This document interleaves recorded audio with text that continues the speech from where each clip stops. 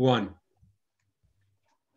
Aloha, everyone. Welcome back to a conversation with Joseph Aldo. Uh, my name is Kim Ann Curtin, a longtime friend and uh, client and student of Joseph's. Uh, I'm very excited to have the opportunity to talk with him and ask him questions about his journey. And this is a series of conversations with Joseph uh, that we thought might be a great thing for people who don't know Joseph to get to know him better and to learn about all his offerings. Uh, included are personal sessions that he does with people, but he also is a holistic healer and he also is a teacher and facilitator of learning how to use flower essence remedies. So, Joseph, today we're going to talk a little bit about what a healer is, what that means to you, and also what it means to heal. Uh, I know you call yourself an intuitive uh, holistic healer, and a lot of people use that term healer. So I'm really curious, you know, your perspective on it, and or how you see it uh, for yourself and the journey you've had so far. Well, let's talk about what the word heal and healing means. And to heal means to become whole, means to come complete within oneself. So when we are on a healing path, what we're doing is we are collecting those separate parts of ourselves and we're bringing them back together into an integrated whole within ourselves. So here we are in this world of duality, and everything seems to be different from us or separate from us. But in reality, we are all connected, we are all interconnected. So, as souls, we come into this world of seemingly different beings, an external versus an internal reality. And I'm just going to pin you. And we are being challenged to be able to return to the unity consciousness, to oneness, even though we are in the illusion of separation. So we embark as souls on a journey of human existence and human consciousness. And it's kind of a game, like a game of waking up. Can you wake up in a world that seems and find unity consciousness and connectedness in a world that seems so very separate from ourself to everybody else. and, you know, it's really challenging. It's very, very challenging to find this place of I am the one who is connected to everything and creating everything from my own inner state of consciousness.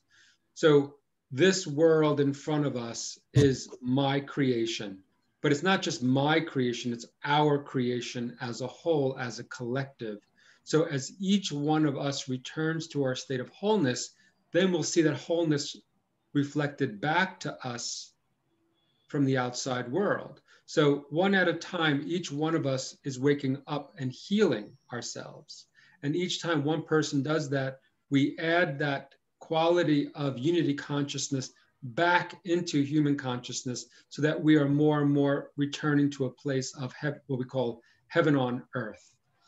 so we all embarked on this journey of separation that we may remember that we are all interconnected and one, and each one of us has our own unique path on this healing journey. And no two paths will ever look alike, and no two journeys will ever be the same. So we have to navigate this terrain by tapping into our unique consciousness, our higher self, the one that is guiding us, that tells us what's the right path for us to take in each moment that we may fulfill our healing journey. And so, on this healing journey, we seek out those who can support us in becoming whole and healed again. And this person is considered um, a healer. And like you said, this term is thrown around and, and used very uh, commonly and often, even though to really find a true healer, which is someone who has been initiated, someone who has been through the process of inner healing on all levels physical, mental, emotional, and spiritual that they have achieved a level of consciousness that is what can be considered emptiness. Mm. Because in the emptiness is where healing is happening, not in someone's idea, in someone's mind, in someone's agenda for what is healing for somebody else, but in the empty space of our consciousness, there is an unfolding that happens. There's an alchemy that happens because I am not interfering with the other person's process. I am simply observing and holding space for their process. So to become a healer, one, for me at least, one must go through various gates of initiation, various death processes, where they let go of their limited perception of reality and they're able to embrace the greater reality with a capital R and the greater truth with a capital T. It's not my truth or my reality, it is the truth and the reality. Just like the universal laws and spiritual principles, it's not something that I came up with, it is what exists. These are laws, laws that no one can change, no one can interfere with they are in within existence and they govern all of reality. So, would, would, you be willing, before you go on, I hate to interrupt you, but for those who want to understand unity consciousness more, can you just give us your own definition of unity consciousness? So, I've talked about the old paradigm and the new paradigm. The old paradigm is a fear based paradigm, a separate, you know, separative perspective paradigm.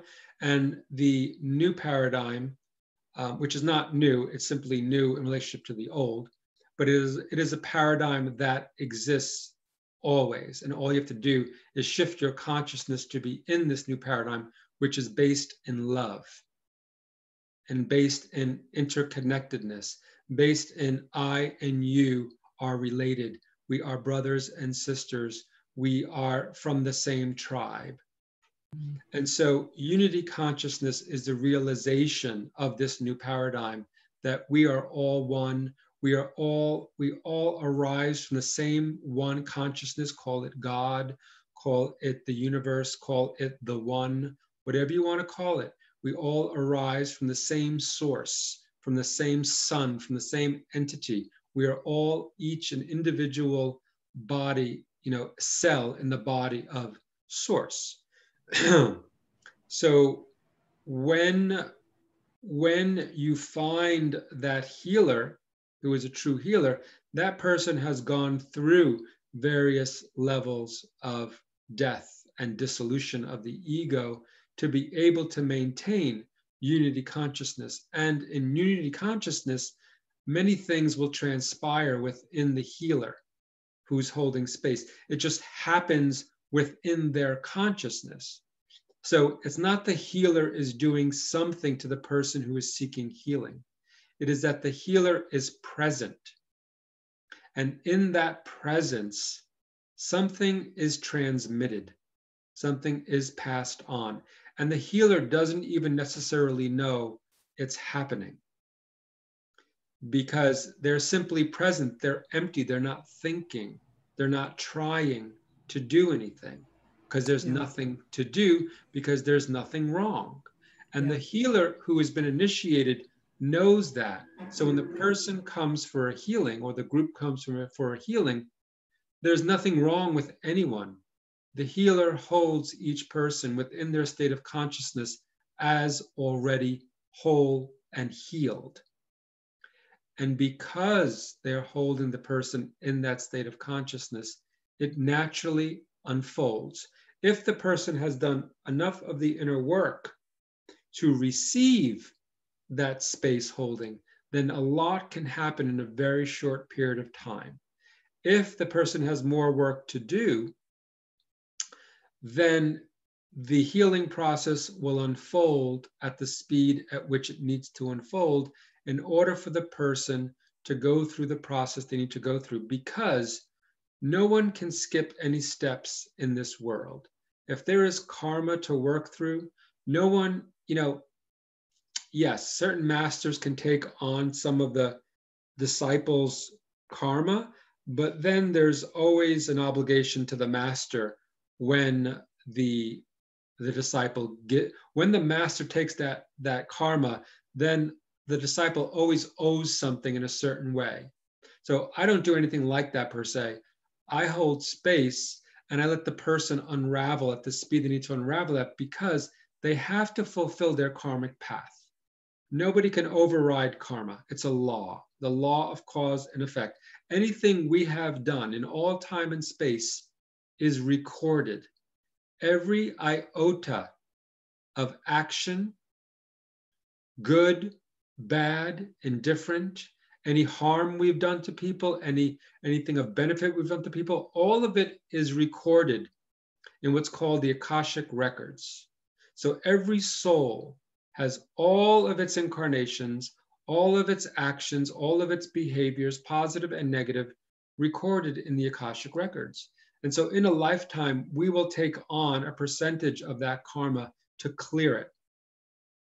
And oftentimes, those who've come in to be healers will take on a tremendous amount of their karma in a lifetime in order to speed up the healing on the planet, as, as well as in order to be birthed as a, um, we'll call it as a higher conscious being which essentially means that they go through the process in body to burn through so much, but also to bring through the gifts that they have um, accrued over lifetime. So when you clear up a lot of your karma in a lifetime, and then you have that space, what descends in that space is much of your spiritual abilities just drops into your being. And all of a sudden, you have all these abilities, you have no idea where they came from. Well, they came from many incarnations of practicing and uh, learning as an adept for this specific moment in time where you can become perhaps a master or an enlightened one. Mm-hmm. And in doing so, it's like, you know, I light the candle of the next person next to me, and they light the candle of the person next to them. So we begin to wake and support each other in awakening and clearing and healing. And therefore, we raise the level of consciousness on the planet so that we may ascend to the next level of consciousness. That's a lot of information, I know. Yeah, it's it's it's it, it's something you know that this has been a conversation uh, we've had a few times, and I can't help but think back to the, the book Power versus Force, uh, which spoke to that those people who are operating at a higher level of consciousness are sort of uh, carrying, holding the, the world uh, on behalf of you know so many that are not quite as awake. And it, it, just it was an incredible kind of mind shift to read that book at the same time i was meeting you and realizing wow that you know some of the challenges i've had and the pain that i've gone through could could kind of be potentially uh, transmuted and or transformed into being uh, a conduit hopefully for more healing uh, for just anybody that i come across that that that pain would not be suffered or the struggles would not be suffered in vain. Uh, it, it was it was up somewhat uplifting to feel that way. Even just with the clients i work with you know seeing that, wow, my ability to navigate that myself at whatever journey I've had, then I can be able to hold space for somebody else. It's like that that ripple effect, domino effect, like what you said about lighting the candle. Yeah, you know, just us walking around in the world at a higher state of consciousness where we surrendered our fear, where we surrender our anger, where we surrender our resentments, when we walk into the world with an open heart, then everywhere we go, we are radiating like the sun radiates sunlight. We are radiating that unity consciousness so that others may benefit from that without even being aware of it or knowing it. Um, and so, because everything is energy and we are energy, when we achieve a level of consciousness we'll call that is love based or unconditionally loving, then our presence makes a difference in the world without doing a thing, without doing anything. Everything else is an extra. But just to achieve that level of consciousness, we are being of service to humanity. I think about the Himalayan masters who are sitting, you know, in the caves in the Himalayas, and you know, their presence is impacting all of us and may even be maintaining consciousness on this planet so we don't, you know, destroy ourselves with all the things that we do that is so unconscious and warring and fighting and yeah. you know like these high level beings perhaps could be stabilizing this whole planet. So you know what we do in the healing process really does as you say domino effect and impact everybody in the world and also especially our family lineage. Like mm the ones who are awake and conscious in the family are doing a lot of the healing work for everyone in the family. So everyone gets the benefits of our individual healing work in our family. And it's all transmitted via DNA. Mm. Tell us and more I, about that. Tell us I more have about seen that. it time and time again within my family. Like whenever I go through one of these major shifts, everybody else in my family is doing better. I can't prove it. I can't explain it. I can just feel it in my body, like like people, like my mother is doing so great at 82 years old, and you know she'll contact me one day, and um, she goes, "Oh, I just finished doing a headstand," and I'm like, "Headstand? When did you start doing yoga?" "Oh, I've been doing yoga for the past five years, watching Wai Lana on TV," and I'm like, "Holy mackerel!" Like how to, I've been doing yoga, you know, for 30 plus years and I, I never really told her anything about it, but she picks it up somewhere and she's doing it at the same time. And I'm like, okay, there is the proof that my self care is transmitting to my mother, or the fact that she now eats quinoa and kale for breakfast rather than Stella D'oro cookies and, and coffee. Like, I'm like, you're eating what for breakfast, Ma? And she's like, yeah, the quinoa and the kale from last night I'm eating. And I'm like, who eats quinoa and kale for breakfast? An immigrant from Italy. I mean, not typical. So no, no. I can see that she is totally absorbing the benefits of mm. all the inner work that I've done. And you know, like she's supposed to have open heart surgery 12 years ago for an aneurysm, for an aortic aneurysm. And I said, yeah, no, that's not going to happen, mother. I said, just give me, just give me a day or two. I'm going to figure some things out. And I went online, did some research, and I saw what minerals were lacking. I said, I'm going to give you some minerals to take on a daily basis, very inexpensive. And I said, in six months, go back. You should be fine. And she did exactly that, went back, and uh, the aneurysm shrunk. Wow. No need for open heart surgery, wow. which could have killed her. Oh, so here we are 12 years later, still no open heart surgery. She is doing absolutely fine. Wow. So that's just that's a direct result, meaning like I stepped in to yeah. prevent her from having an operation, which I thought she would not be able to survive. And she had another great 12 years of her life, and she's thriving right now. Wow. So, you know, everything that we develop and cultivate within ourselves, there is a benefit to all of humanity and especially our lineage. And it is our task to raise the vibration of our lineage because we are the ones who are awake, aware, and conscious of the greater reality, the greater whole. And so we are the healers, you know, the black sheep are the healers of the family, but they have to somehow take the reins and be able to do the inner work rather than caught up in the victimhood or the separation or I don't fit in, I don't belong. I've never fit in. I've never fit in pretty much anywhere. And it was only my inner voice said, you need to just stop trying to fit in. You're not here to fit in. You're here to create and generate a new paradigm. So enough with this. And I got it.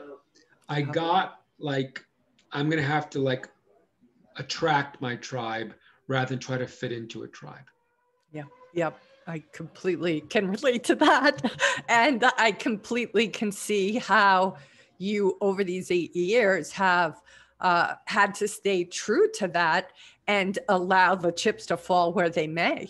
Uh, I think that takes it takes a lot of courage in this world to uh, not force yourself to fit into the mold of another tribe.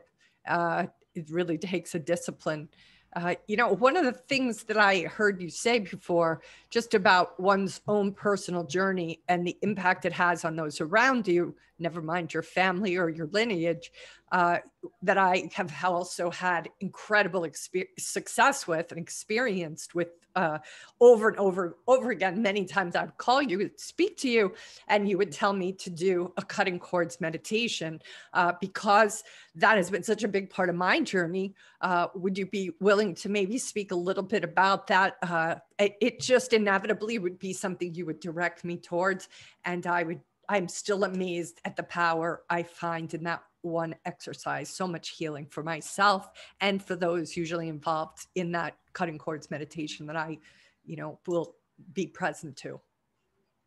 So at some point in time, uh, we begin to realize that we are in this dysfunctional relationship with someone else. Could be a family member, could be someone that you've had a relationship with, an intimate relationship with and you can't get them out of your mind. And they keep occupying your consciousness. You keep feeling like you're a victim of the relationship, angry at them, whatever it is, whatever the emotion that's arising.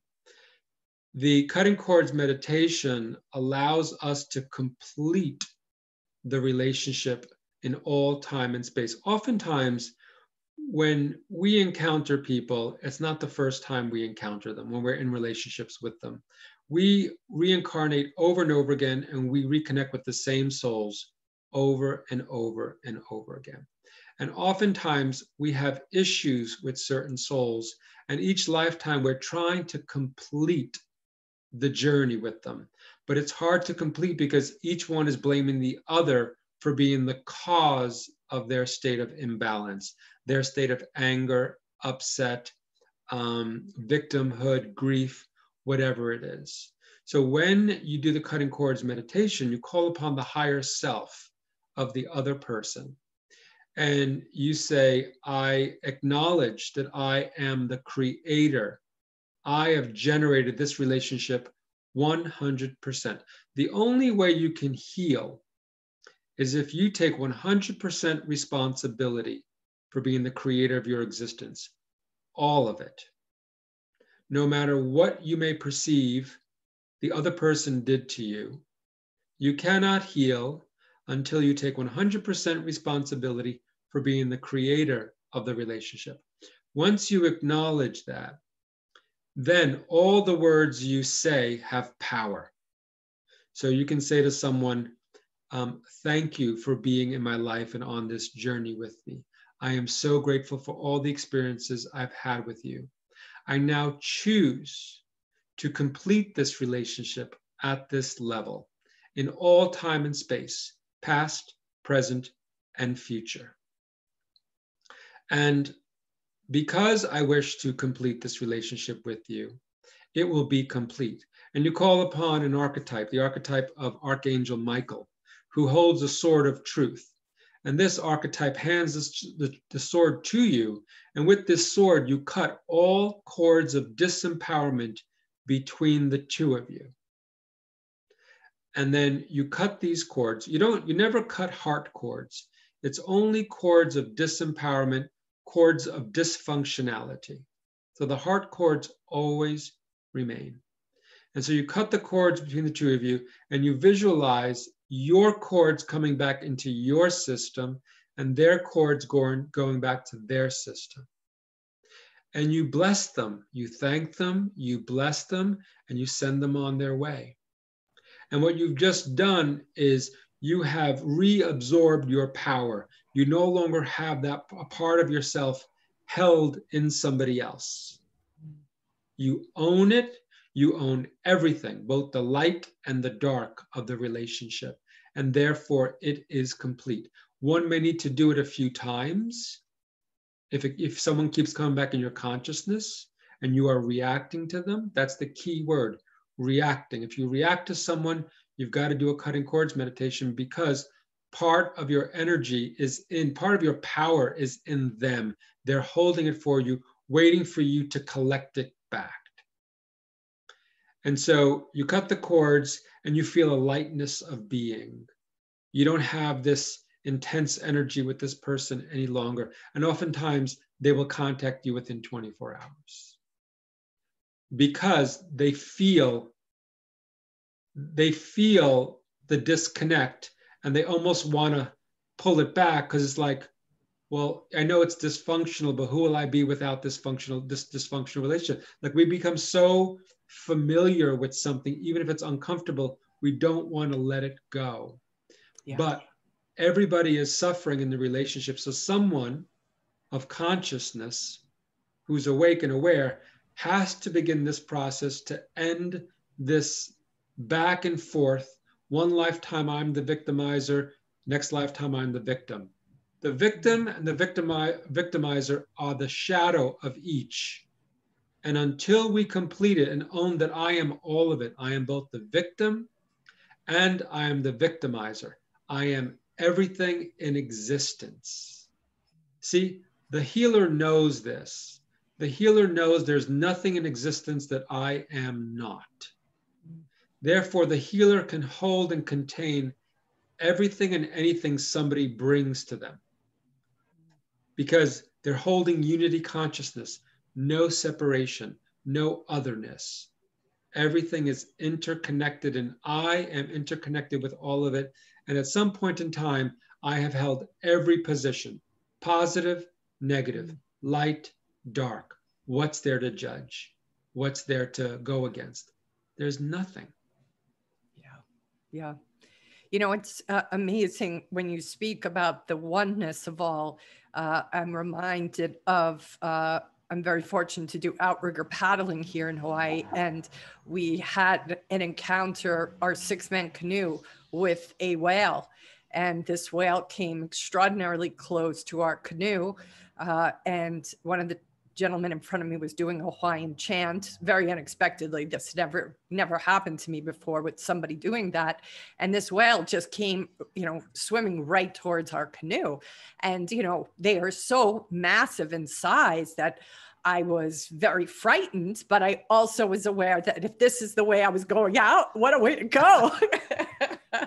and hmm. when that creature was within 15 feet of our canoe, the energy coming off of it uh, was unity consciousness christ consciousness complete oneness. I i knew that it's and me were the same. And just just a weeping a weeping. I mean i'm sure everybody in the canoe was weeping but the, the there was such a force coming off of this of high wisdom of high consciousness that that sense of oneness was palpable uh, and I feel that that's the joy and the healing I have by being in a place like Hawaii.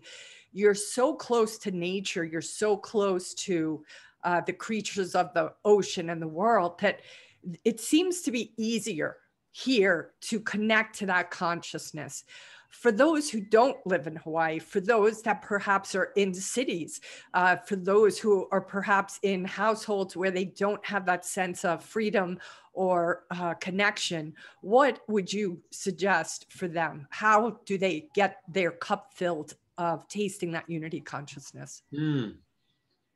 That's a good question. Well, first and foremost, you have to plug in. You know how you plug in the toaster oven, you know, the toaster to the socket, and then, you know, then you have it, it works, it heats up. So, in order for us to remember who we are, we have to plug in on a regular basis to source we have to do various practices that keep us connected to unity consciousness, to the oneness, and help us to navigate this world without getting caught up in the illusion of separation. So there are mantras. I was given a mantra in Hawaii, uh, Hawaii, uh, yeah, that's a different mantra. I was given mantra in India when I went in 2001. Um, I was just walking around the complex at the Himalayan Institute, and somebody said, We're going to be giving mantras by the great tree, whatever the tree was. And my inner voice said, like, screamed, Go, this is why you came here. Wow. And I went there and they gave me the Gayatri mantra. Mm-hmm. And I have to say, I am truly blessed that I was present in that moment to hear that um, offering because for the past almost 20 years, I've been doing this mantra and it really has transformed my existence. Tell us how you do your mantras and how we could do our own. Well, um, so usually a mantra is passed on to you by a teacher, by someone who's been doing it, someone who is well versed in the mantra. Oftentimes, we're given mantras that we've been doing for lifetimes. So we simply come back into the wave of the mantra it is like our, it is like, you know, like in the middle of the ocean or yeah, when someone's in the ocean and they see the, the, the lighthouse light, they have the direction when the fog, they can see that lighthouse so that they know where they're coming close to the shore. So a mantra helps us to, especially this Gayatri mantra, helps one to release much of the samskaric the karmic residue that we have collected over lifetimes, at the same time, enlightening our consciousness to the truth. So I can be very stressed out in a day, and I just sit down and I do a round, which is 108 mala beads. I do a round of the mantra, and it's like I, I took a nice long nap, and I come back refreshed, clear, clean, and you know, bright-eyed. So when you do a mantra regularly, it speeds up your evolution as it purifies your consciousness and releases the muck of your of our existence. But you know, one usually is given that by someone who is in a place of authority, uh, a teacher, a seer, um, a healer. And when you're given that mantra, it behooves you to use it because it is a gift from God um, that you may return to source uh, on a regular basis and release the the dross of this third dimensional existence that we can accumulate each and every day. Just by going out because we're all energetic beings we can accumulate a lot of data in our energy fields. And so using a mantra helps to really purify our consciousness of the the advertisement, the propaganda, the whatever it is that keeps seeping into our consciousness so that our, our connection to source remains pure and our intuition and our capacity to hear and feel and receive is always active and activated so that we are forever being guided on our path and that we don't lose our way. So the mantra is a very important tool um, for maintaining that connection, but also a simple visualization of tuning into, like allowing the light of consciousness to descend into the top of your head, moving down your spine and into your whole body, so that every cell in your body you visualize receives the light of consciousness. This is real. When you are seeing something inside of your mind's eye, you are seeing and creating reality. So when I see a light coming into my body and filling my whole being, that every cell is being juiced up, charged, plugged in, that's what's happening. And when I see like the dross of existence, the toxins move out of my body and into the earth, that's what's happening. It's real. So some people might say, well, we're just imagining all this stuff when we're visualizing. No, you're actually creating when you're visualizing. You're actually creating when you say words. Every word we utter has a vibration and steps and cre- and steps into creation, creating reality, creating this reality, creating this reality. All of us have the power of the spoken word, and we are creating continuously. And that's why we have to be so careful with our words and our thoughts, because everything is being heard, everything is being followed. And so we meditate, we say these mantras that our mind may be purified and only have pure thoughts. Because once I learned this the hard way, that our thoughts are real and have an impact on people. When I was uh, early on on my path, I had a session with one of my teachers, and she really pissed me off. Some something was she pressed a button of mine that really set me off. And so I went to my garden afterwards, and I'm like cursing her out, calling her a bitch, and how dare she say these things to me? And I just like let it out. And I went upstairs, and you know, in those days, 30 years ago, 25 years ago, there was, um, you know, like you can leave a message on a machine. So I got into my apartment and I saw a blinking red light, and I pressed, you know, play message, and there was my teacher saying, "Hey Joe, it's Melissa. Just wanted to let you know that you're sending psychic dogs my way, and um, just want to let you know. Have a great day. Bye bye." And I'm like, I'm sending psychic dogs her way. And I was mortified that she could hear, feel, sense what I was sending forth. So I called her immediately and I apologized. I said, I'm so, I'm so sorry. I did not mean to send you that. She goes, Oh, it's just, you know, you're just projecting your mother stuff on me. It's okay. I'm protected by my guides. I just wanted you to know. Wow. So imagine if I did that to somebody who wasn't protected. Yeah. Imagine the power our thoughts have on people when we send them negative psychic dogs. Yeah. Yeah.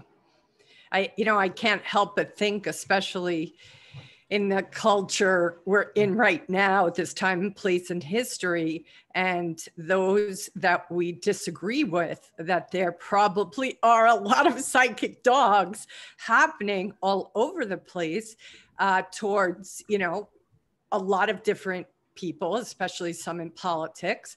And yet uh, there is a cumulative effect uh, is is really what I'm hearing you're saying. And you know that you know in fact one of the quotes from you that I had brought to this conversation was you sp- you speak about whether or not we live in a fear-based reality when you ex- have when you will have experiences that reflect fear-based thinking but if you live from a love-based reality you will experience and have experience that reflect this.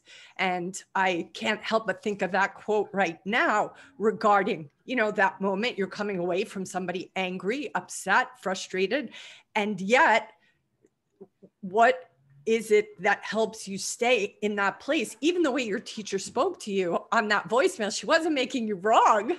she was just pointing out and she wasn't even triggered by it, but she was like identifying, hey, this is what you're doing and this is a real thing. So you might want to be conscious of it. That is a really amazing you know window into that place of coming from a love-based reality yeah, she's a she's a true teacher that she didn't react and make me wrong or put me down, but just, you know, lovingly, gently informing me without even telling me like your thoughts have power. Like I got all of that from the contemplation of just being like, damn, she picked up my thoughts to a T. And I best be very aware next time I have thoughts mm. because thoughts are powerful, their energy, they get to their destination.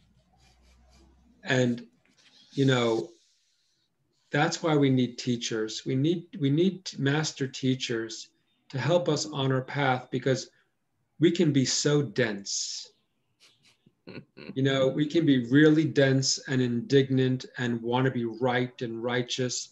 And you can see it with this whole political party of Democrats versus Republicans, this one versus that one.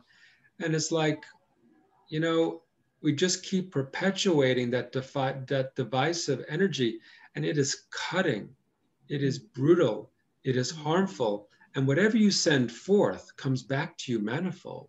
Mm right? Yes. Whatever yes. I send forth it's like a boomerang. Yes. I'm throwing something out and it will always return to me, but faster. Yes. More intensely. And Yes. so I learned that early on in life. And I that's why I chose to no longer blame anyone for the experiences that I'm having, but to do the inner work every time I react to something outside of me and to Mm. take my power back rather than to blame someone else for being the cause of Mm. my life. Nobody is the cause, everybody is a catalyst. Once you get that, game over on that level. There's nothing to blame, there's no one to make fault, not even yourself. It's just like, oh, Mhm. more work to do. Let me sit down. Let me sit. Let me just observe all of my judgments about this person and let me write down what's really upsetting about me and purge it. But don't purge your stuff on another person because it just comes back to us. And that's what the whole thing is about this world is is this world is a reflection. This third dimensional reality is a program. And the program is you're going to receive what you put forth. It's really, really simple. You put forth lack consciousness, you're going to get back lack. You put forth fear, you're going to get everything that you're afraid of. You put forth love, you're going to get back love. It's really that simple. And you're the one that has to observe each day what's working for me, what's not working for me.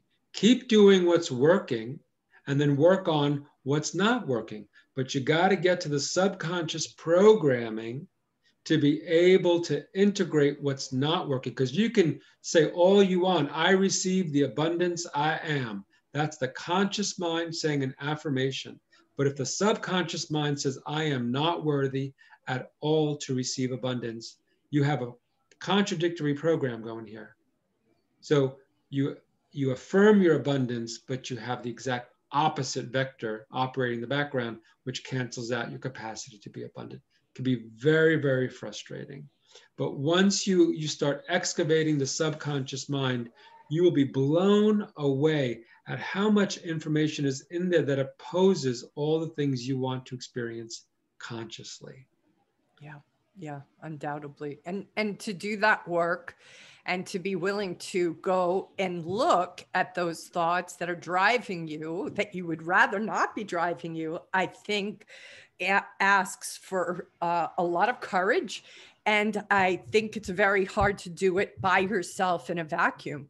Uh, which is why I think it's so important to have uh, somebody like yourself to help accompany uh, them on the journey. Uh, I, I feel, you know, and and there were many times when I've reached out to you over these years uh, where I really didn't like what you had to say. You know, I was annoyed by it. I was triggered by it. I felt frustrated with, you know, what was being spoken, but I could always see that your motive was in service to my leveling up and you know anytime you want to level up you're going to have to do kind of the boot camp to get to that next level. So you know it was kind of like uh calling up uh what is it called in in, in the is it it's boot camp your drill sergeant. There would be Yeah. times when i was like you know uh, one of our mutual friends shakuntala i'd be like shakuntala i'm gonna call joseph and i really don't want to right now because he's gonna he's gonna be the drill sergeant on me but i know i have to do it.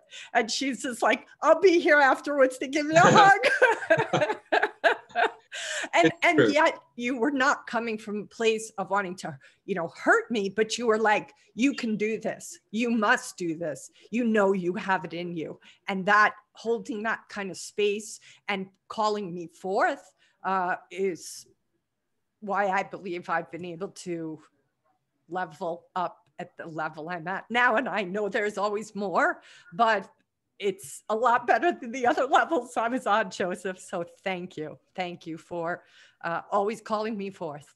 Very grateful to you for that. Yeah. Well, I always say you pulled me into your existence literally off the dance floor. You pulled me at Five Rhythms that day, and some part of you recognized, like there's something about this guy and I, I mean there's plenty of people in that room dancing in five rhythms in new york city why did you zero in on me and then hold on for dear life like your soul knew if i'm going to do what i'm here to do i'm going to need help and i'm going to need some serious help and this like italian sicilian brooklyn guy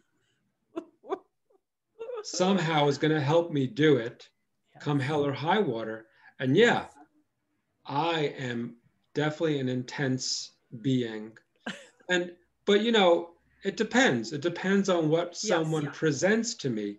Because yes. a lot of people get TLC, a lot of, a lot of, you know, loving, point. kind words, but yeah, other people yeah. need a nice, swift kick in the ass. exactly. And I needed that swift kick a few times. Exactly, because you begin to wallow in victimhood.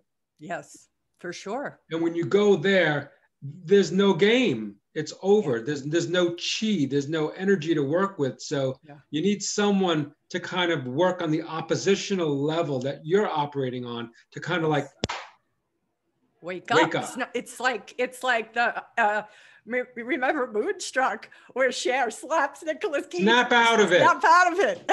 and yeah. that's exactly what was happening for me uh, on the you know early journey part of my life. You you were like snap out of it. You're in a headspace that's not empowered and is going to keep you from going where you can go.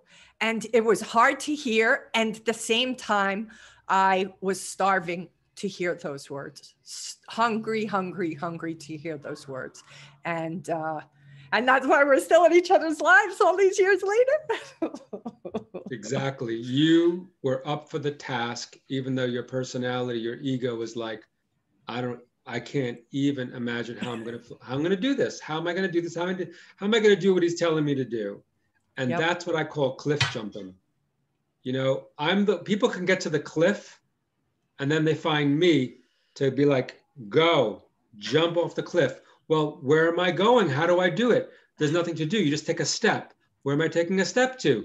Nowhere. what does that mean? It means nothing. How do I do it? You take a step. I don't understand. There's nothing to understand. Let go of trying to figure out how yeah. you're going. You've done all the figuring out up to the point of the cliff. Yes. At yes. that moment, there's no more tools. Yeah. There's no more doing. You just yeah. jump. Yeah. And that is the hardest place for many people to yeah. get to because the fear kicks in, the unknown. Sure. Who will sure. be? What's going to happen? What if no one's there to catch me? What if, what if, what if? and and the and the intellect i i think especially for those who are cerebral who have a tendency to uh, intellectualize their way out of challenges all along their lives and read all the books which i am prone to do uh, we want to think our way out of that and you ultimately your your assignment was to not rely upon that part of ourselves but to lean deeply into our soul soulfulness our spirit and to trust that as the as the uh, director of this journey. And that is uh you know it's it's a very unsettling it's very unsettling to step off and wait for the net to appear. You want to see the net first before you jump and you're like you can't see the net unless you jump. And that's like such a mind twist that it's hard. But it wouldn't be an initiation if it was easy. And you know we study we read books, we take courses. They all get us to the edge of the cliff. Yeah. Before we jump, we turn around and we sit there and we build a fire. and we burn the books. Yeah. We burn the degrees. We burn the courses. We burn all of that third dimensional knowledge. It's no longer of use to get off the cliff. It'll actually hold us back from the infinite wisdom that is awaiting us. To be initiated, you have to die to that self that got you there. Mm. And it's frightening to let go of all of those things that you've identified with as yourself. Mm-hmm.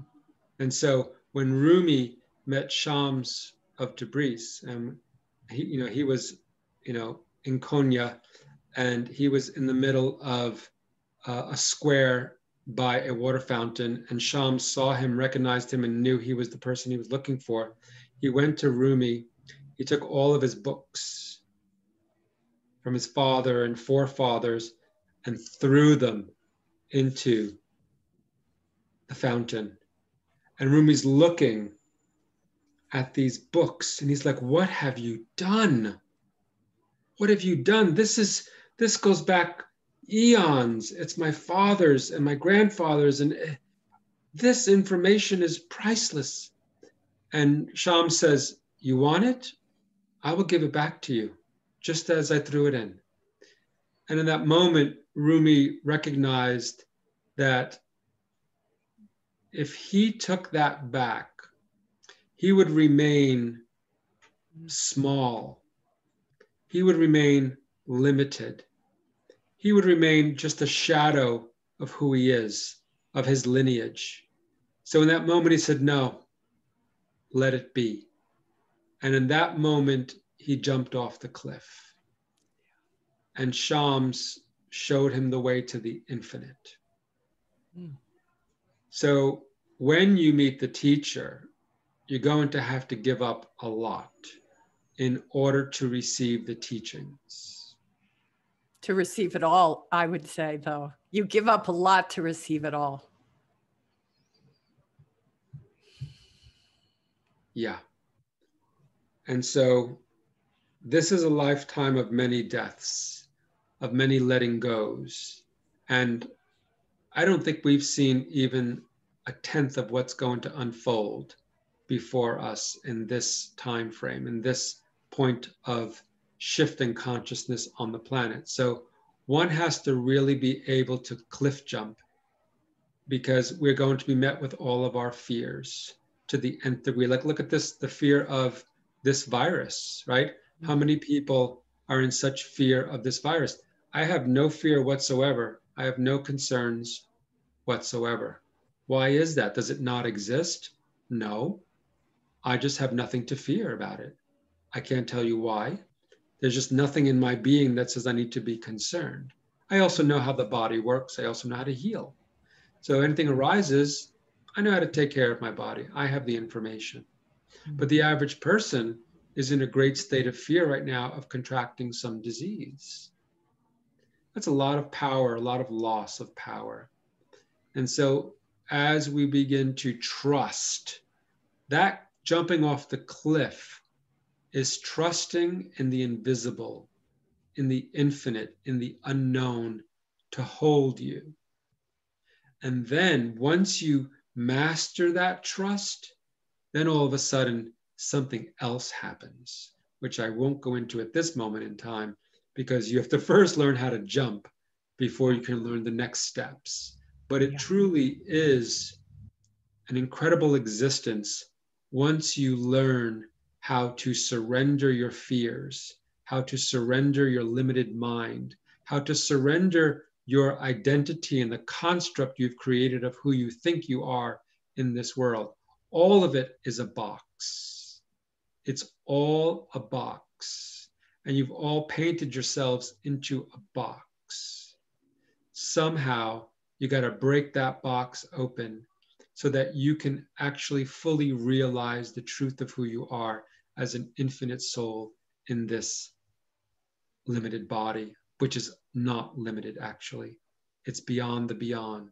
But one has to get to the place of letting go of limited thinking and perception in order to realize this body as actually an infinite entity. Mm-hmm. Joseph, thank you. This is an amazing conversation today. Uh, I'm looking forward to the other episodes. We're doing a series here with Joseph Aldo. Uh, let's just tell the viewers where they can find you, Joseph, uh, if they want to do either sessions with you or they want to learn how to do flower essences uh, please tell them where they can find you and your books. Uh, I'm at josephaldo.com. And the books are Holistic Healing and the Shifting Paradigm, In an Ecstatic State, and The Voice Within, which is in the works as we speak. Beautiful. Can't wait for that book to come out. We'll see you guys in the next episode. We have a couple more episodes to go where we're going to learn from Joseph and get to share in the wisdom he's gathered over these many, many years. Thank you, Joseph, for letting me be in this conversation with you. It's my honor to be here with you. Thanks, Kim. Thank you. Aloha. Aloha.